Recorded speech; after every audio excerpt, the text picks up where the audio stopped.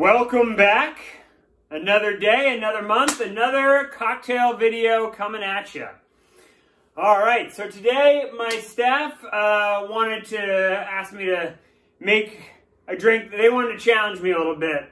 You know, a little stump the boss situation. They wanted me to make a Bloody Mary because they know it's not one of my favorites. And uh, I'm one to rise to a challenge because um, little do they know that my great-grandfather started the Treadway Inns back in the 1920s. And somewhere around there, uh, maybe it was in the 1930s, I'm not sure when he invented this, but he created a, uh, his version of the Red Snapper, which arguably is uh, the predecessor to the modern day Bloody Mary. Um, his, uh, you called for a nice gin, and then some Worcestershire, some pickle juice, uh, lemon, you know, the whole the whole works. So we're gonna get going right away. Make this uh, his version of the red snapper. So you gotta have a, a good gin um, to to get yourself started. A couple ounces of the good stuff, a little Bombay Sapphire in there. There you go. Um, then uh, Dasher Worcestershire, of course. Dasher hot sauce. Um, I got uh, this Harry Potter themed uh, hot sauce for some reason, um, but it's gonna get the job done. It's actually real spicy. Um, just a little bit of that. Um, then some pickle juice, just a little half ounce. I uh, ran out of the uh, kosher dill, so I got these Rick's Picks Mean Beans. So, oh yeah, a little bit of that's gonna do great going to be kind of the salty component. Then uh, some fresh lemon juice.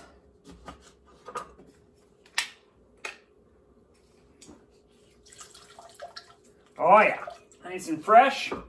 Um, and then again, this was in the like 30s, I think. So they didn't, they couldn't spend money on tomato juice. They didn't have V8 back then. So his recipe calls for a little bit of ketchup. Just squirt in, you know, I don't know, couple couple ounces of ketchup in there. And then his secret was to add a little zest. You actually add a little mustard too. All right. Oh, just need uh, just a little bit, a little bit of mustard.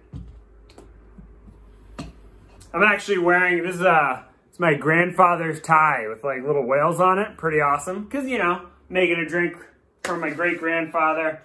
All right. So now we just need to ice and shake this up.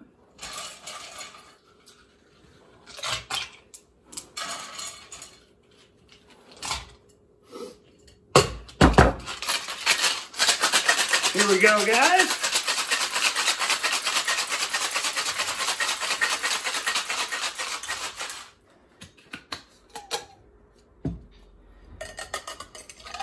So it's to be a little bit sludgy, but that's okay. That's why I serve it with a nice big straw. Really get all the good stuff in there. You're want to garnish it up something nice. Um, if you have like an olive, throw an olive on there. I just have the nice lemon wheel right there. So I got this nice uh, bamboo straw. It's nice and wide because you're gonna. It's a little, you know, cocktail's a little thick. All right, guys. So uh, that's my great grandfather's version of the red snapper.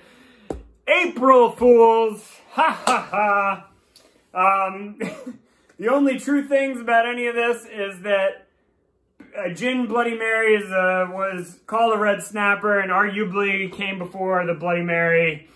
Uh, this is my grandfather's tie, and my great-grandfather did create the Treadway Inns, but it's to my knowledge, he did not serve whatever this abomination is. Um, if you had a keen eye, you noticed I only put a splash of Sapphire in because I didn't actually want to waste it on a drink that, wow, I'm not going to drink. Um, but there you go. A little bit of lighthearted fun for you today on April Fools. Gosh darn, don't we love it. My staff, actually, that's the one more truth. My staff did put me up for this. Um, speaking of my staff, they are out of work and would really love um, a little, little bit of love from you guys. So um, one person on Instagram today said that she was going to treat nights that you know, a normal week that she would go out. Wednesday nights and nights she would go out. So She's throwing uh, money in the tip jar, spending as much as she would if she went out and making herself a drink. So I think that's honestly, such a nice and awesome idea. And if, uh, if that can spread, wow, that'd be amazing. Cheers, guys. Bring you a, another cocktail tomorrow. Tomorrow's will be actually be a real drink, I promise. Cheers.